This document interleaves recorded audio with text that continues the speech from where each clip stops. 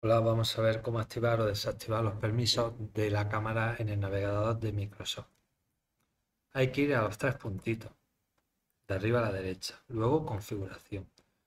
Luego saldrá un menú aquí, en el caso de que no salga, pulsamos sobre las tres rayas horizontales. Vamos a permisos, cookies y permisos del sitio.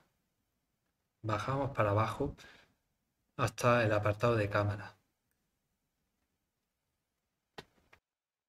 Y aquí tenemos el interruptor. Si lo dejamos a la izquierda bloquea todo intento de acceso. Si lo dejamos a la derecha seremos preguntados por si queremos conceder permisos o denegar.